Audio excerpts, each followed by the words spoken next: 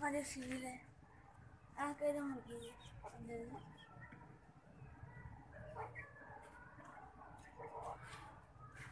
Ama diğer yolu da.